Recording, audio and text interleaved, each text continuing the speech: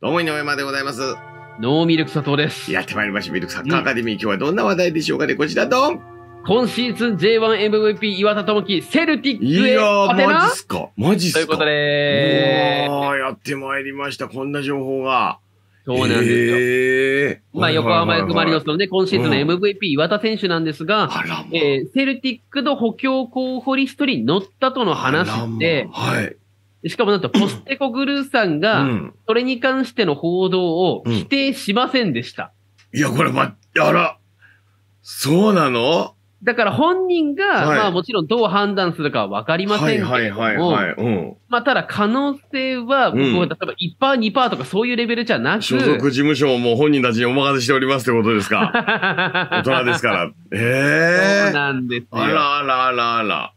ってことで、一体これがどういうことを意味するのか、はいちょっと考えていこうという考察会でございわかりまま。すした。これを機にビルお願いしますワーカー毎日やっておりますので、チャンネル登録ぜひよろしくお願いいたします。お願いしますはい。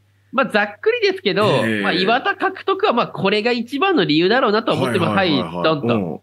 えー、クロアチア代表、右サイドバック、ユラノビッなるほチ。ど。なんかね、うん、大活躍したからね。そうなんですよ。よ。ユラノビッチの今移籍候補はバルセロナ、うん。アトレチコ・マドリード、レアル・ソシエダと。あらま。あら。ああ、揺れてるわけですね、今ね。揺れるよねね、格好のごとくビッチでしたもんね。そうなんだよね。その前はね、今ちょっと揺れてるということですか？はい。そうなのよ。よで、、実はですね、右サイドバックって、このセルティック、ユラノビッチ選手ともう一人、ラルストンっていう選手がいるんですよ。はいはい。あの、結構、古橋と、古橋選手とマブな感じなうんですけど、ん、うん、そのね、ラルストンもうん。移籍しそうなんですよ。あらま、あらま。そうなると、右サイドバックいねえんですわ。うーん。ってので、実はあの、12月24日のまあ夜中に行われた、はい。セルティック対セント・ジョンストンって試合があったんですけど、うんうんうんなんとその試合の右サイドバックは、旗手レオでした。うんはいはいはい。右ね。で、2ゴール決めました。山根美希っぽい2ゴール決めましたけど。見せてるねそうなんだよ。また一個、引き出しを増やしちゃった増やしてしまっね。たということね、結果で。なんかでも川崎時代にあの、ベガルタ仙台戦で、はいなんか右から攻めるっていうことを彼やってたんですけなるほど、ど。ほぼ似たような感じのアタッキングから得点してたんで、ななんかちょっと思い出出しましたねす。ごいですね。うんはいはいはい。でも要はその旗手選手がやってたことを多分岩田選手にやってほしいって感じだと思うのでまあそう考えると納得するなっていうところはありました。ハマるということですね。そうですね欲しがるの。もわかるということですね。はい。ってことで見ていただきたいのはこちらでございます。うんはい。えーセルティックのこの冬の移籍市場で起こりそうなことということですけど、はいまあ、右側に書いてた通り、岩田智樹かには僕は妙案だと思っております。うん。これやっぱりね、あのもうリーグ戦優勝は多分間違いないでしょ。うん。もう今、今季も10連勝とかしてるうし、ん。レンジャーズにも圧倒的大差つけてるんで、はいはいはいはい。大丈夫だと思います。うん。で、まあ、ただ起こりそうなってるのが、今今シーズン、この冬起こってるのが、まずは、え神戸から小林祐希選手の獲得。うん。であと、ワールドカップでも2得点決めた韓国代表のチョギュソン選手を、えー獲得フォワードしてよしてようとしていて、うん。プラス岩田選手がリストに入ったんじゃないかと言われています。はい。で、その代わり右ですね。先ほど言った、まあ、ユラノビッチ選手だったりの井出口選手。で、フォワードのギアクマキス選手だったり、ウイングのジョタ選手だったりがこの冬に移籍しちゃうんじゃないかってことが言われたりします。はいはいはいはで、ただなんい。ですうん。と、やっぱ、もともとこれいろいろ見てほしいのか、これこのチョギュソン取りますってのは、おそらくこのフォワードのギアクマキスさんが移籍するからじゃない。なるほど。うん。でチ、ョギソンさんってあの、ワールドカップで決めた9番の。そう2ゴール決めたはいはいはい。なんですよ。うん。うん。で、おそらくユラノビッチが移籍するから右サイドバック系とか、あと井出口選手もいなくなるから中盤とサイドバックできる人がいいなで、うん。岩田選手でしょ？ぴったりですよね。う。。うんまあ、っていう感じなんだなってのがちょっと思われます。それがだから、まあ言ってしまえば、ポステコグルーサの計画みたいな感じなんだろうなと思います。ただ、ちょっと実はね、問題抱えているポジションもセルティック少なくないんですよ。はいはいはい。でちょっとこちらも見ていただきましょう。うんポン。左側、なんかカラーリングがいろいろありますよと。うん。これ何かというと、あの、ピンクで名前書かれてる方々は、うん。えこの冬に移籍するんじゃないかっていう方々です。はい。でただ、もう一個、オレンジ、うん。夏、次次の夏に移籍するんじゃねえかとも言われてる方ええ々。なるほど。ああ、なるほど。これはステップアップっていうことですよね。そうそうそう。確かにそうなのよ。上に行くタイミングじゃないかなっていうところもあると思うんだよね。そうなんですよね。うんうんで、多分、ポステコクルーズは2つ考えてることあるんじゃないかと思いますけど、まあちょっといろいろ整理していくためなんですけど、1年前のことをまず思い出しましょうと。うんその時にあの、旗手選手、前田大然選手、井出口選手、あと、オライリー選手なんてあたりが加入したんですけど、もともとこの4人っていうのは、あの、冬に加入したけど、もともとは、えー今シーズンの夏うんから活躍してくれればいいっていうので、取った補強だったんですよああ、ね。そうなんだね。うん。はい。要は、あの、去年在籍した皆さんで、夏にりもうね、え対談が決まってたよっていう皆さんがいたから、うんその選手たちとの入れ替えのために早くから獲得しておいたっていう、あれだったんですってなる。ほどね。ただ、ただタイミング良くというのか悪くというのか、うんちょうどその選手たちが怪我だったり、コンディション不良だったりだとかもあって、はい。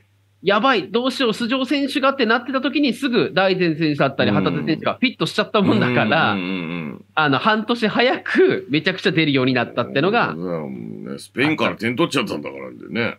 そうですね、大前ね。ではい。そうですね。で、旗手選手なんかレンジャーズあたりも大役活躍でしたからね。はいはい。そしてあと、このね、えー冬で言ったら今度は小林祐希選手うん。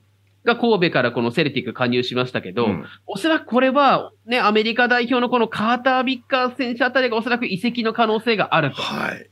だそれを見越した上で先にして取っておいた可能性は高そうなるほどだ。ああうんスペインから点取ってないね。クロアチアだね。あクロアチアだねごめんなさいねはい。はい、というのがありましたと。うん。で、先ほど言った通り、岩田選手に関しては、まあ、ユラノビッチ選手、ラルストン選手あたりに移籍を想定してたんじゃないかなと思うんですけど、うん。まあ、一個だけちょっと問題を抱えてるのがあって、はい。まあ、セルティックリーグではめちゃくちゃ強いんだけど、チャンピオンズリーグではちょっとね、負けてしまったんですよね。実力の差をね、感じざるを得なかったですけどね。そうなんですよ。うんで、実は僕が思う抱えてる、その問題抱えてるポジションっていうのが、はい。このチーム僕はサイドバックだと思ってます。はい。ユラノビッチ選手もラルストン選手も逆に左側のテイラー選手もベルナベイ選手も、うんあの各国代表クラスの素晴らしい選手たちなんですけど、うんどっちかというと、あのー昔ながらのサイドバックというか、はい。あの、いわゆる縦に一列頑張りますって感じのサイドバック。うんはいはいはいはいはい。で、そこ結構疲れたケースがありまして、うんなんかどうやらポステコクルーさんとしてはやっぱりこのサイドバックの方にマリノスでもやってたような、ん偽で。そうう、ん。やってほしい感があるんですよ。置でもしっかり活躍してほしいってことですね。そうなんですよ。うんうんうんそれが、まあこう表すんですけど、うん要はなんでそうなるかっていうと、セルティック一つ問題なのが、チャンピオンズリーグであったとしても、リーグであったとしても、後ろがっちり固められるとなかなかちょっと難しくなるところがあるんですよ。はいはいはい。だけど、こういうフォーメーションなので、サイドバックがこうね、あの、こう、いけると、例えばちょっとずつずれて、ずれて、ずれてなんとかでこう、やっぱウイングが1枚開くなんていうケースがありますからはいはい。そしてこう、サイドをこう、高く上がっていくだけじゃなくて、うん中に入ってこれるサイドバックってのが、おそらくは欲しがってんじゃないのかなとで、もしくは、ダブルボランチまたはインサイドハーフの位置からこういうフォワードのサポートに上がってくる選手が必要なんですけど、見ててぶっちゃけ一番セルティックのサイドバックうまいなって思うのは、あうん。レオ・ハタテです。なるほど。うん。だハタテ選手はよくね、ダブルボランチとかインサイドハーフ入ることもあるんですけど、うんビルドアップの時になんとセンターバックまで降りてくることもあるんですよ。ああ、いいね。うん。うん。で、そこから気づいたらパス回ししながら、ゴール前まで行ってるってところがあって、うんうんうんその時に相手のディフェンダーたちが、は？なんでこいつここにいんの？ってのでうん大混乱して数的優位が生まれて、誰か外側に開くなんてケースが多いんですよねいい非。常に近代的な青い選手ということですね。そうなんですよ。はい。で、そのさ直近の試合では旗手選手2ゴールも決めましたけど、うん今年実はゴールとかアシスト数以上に目立ってるのがそういう味方を生かすプレーだったりしてるのはいはいで。そういう選手がもう一人二人来れば、セルティックは多分その CL とか EL でうもん。勝ち点伸ばせるんじゃないのかなと。そうか、なるほどね。でしかも今回冬やってくる小林選手もそうだし、うんそれこそ岩田選手もともと、小林選手は3バックの左もできる選手ですし、うん。岩田選手マリノスで3バックやってないけど、大分時代に3バックの左やってたじゃないですか。で考えたらいろんな可変だとかもポステコさん取り入れようとしてんじゃねえかなって。なるほどね。J リーグのこう、身が詰まってるわけですね、このポステコの構想には。そうなんいいぞ、ポですよス。テコ。だってちゃんと、セルティックのレギュラー日本人一体何人いるのかうら、ん。来月は。そのところも楽しみに、はい、していきたいなと思います。海外有力チームにね、これ J リーグを理解しきったね、監督が増えていくといいですね、これね。嬉しいですからね。ねはい。素晴らしいでございます。ということでございます。もう一つの日本代表、ポステコグルファンが率いるですね、セルティックの話題でございました。はい、ありがとうございました。と思います。ワクワクしておりますということで、毎日やってます。ミロアカチャンネル登録、高評価ボタンよろしくお願いします。お願いします。サブチャンネルグッズショップ、そしてね、メンバーシップコンテンツもあります。ぜひよろしくお願いします。それではまたお会いしましょう。じゃあねまた